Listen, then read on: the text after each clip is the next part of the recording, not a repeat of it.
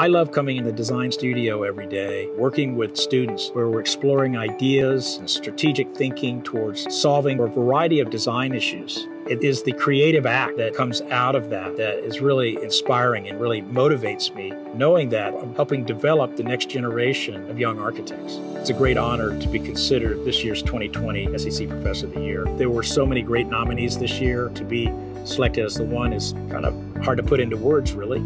It's humbling.